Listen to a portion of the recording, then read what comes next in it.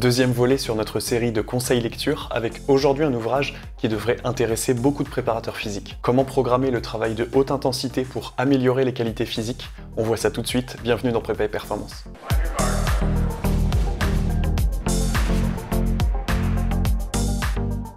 À plusieurs reprises sur la chaîne, j'ai apporté des critiques aux méthodes HIT réalisées en salle de sport. Bien souvent, l'intensité n'est pas mesurée et tous les efforts sont réalisés all out, c'est-à-dire à intensité maximale. Or, le but de fractionner des efforts est justement de calibrer l'intensité pour ne pas exploser et tenir dans le temps. L'ouvrage que je vous présente aujourd'hui est venu mettre un grand coup de pied dans le flou artistique qui entoure la pratique du HIT. Il a été coécrit par Paul Lawson et Martin Buchette. Pour ceux qui ne les connaîtraient pas, ils sont tous deux de grands professionnels du domaine du sport. Lawson est professeur, sport scientist, entraîneur en discipline d'endurance et a réalisé plus de 18 Ironman. Buchette, quant à lui, est également sport scientist et a notamment dirigé le pôle performance du Paris Saint-Germain durant des années. Nous l'avions notamment évoqué dans notre vidéo sur le 3015 IFT à destination des sports collectifs et sports de raquettes. Ce sont deux hommes de terrain qui publient énormément dans le domaine scientifique. Autant dire que leur expertise dans ces deux milieux leur permet de nous proposer un ouvrage qui va faire référence lorsque l'on parle de sport à haute intensité. En effet, toute la réflexion de cet ouvrage est de décrire ce qu'est un effort intermittent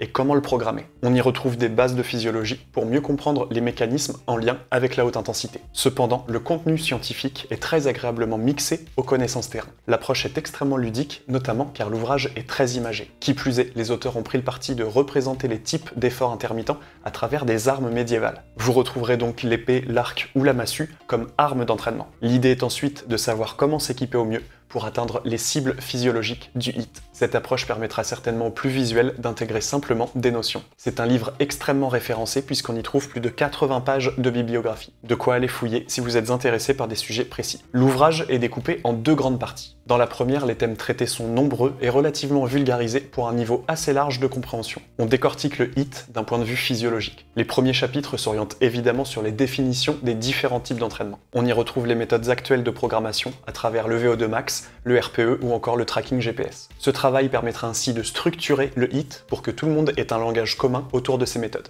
On y retrouve également tout un chapitre sur l'entraînement concurrent que nous avions évoqué sur la chaîne dans une vidéo dédiée. On y traite également d'alimentation, d'hypoxie ou encore d'hydratation. Autant de sujets d'actualité dans le domaine sportif. Enfin, plusieurs chapitres sont dédiés à la quantification, au suivi et à la prévention face au travail de haute intensité. Parce que réaliser du HIT est une bonne chose s'il est bien calibré. La seconde partie du livre propose des exemples terrain de mise en place dans différentes disciplines. On y parle de sport de combat, de football australien ou encore de ski de fond.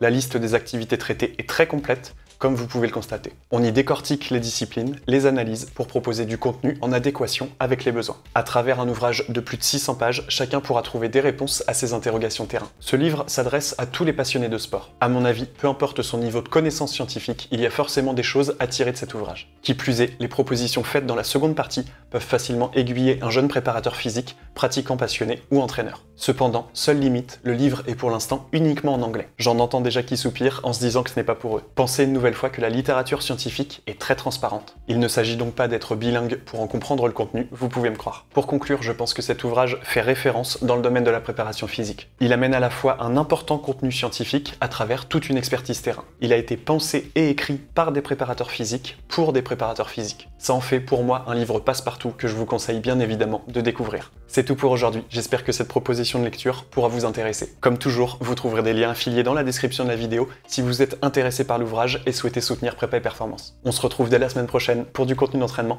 et d'ici là, entraînez-vous bien. Salut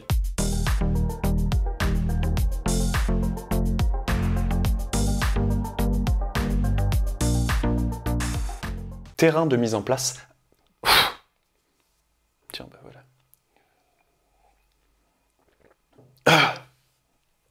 J'ai avalé une mouche. Pour conclure, je pense que Science and Application of... Non, vas-y, je vais pas dire le titre.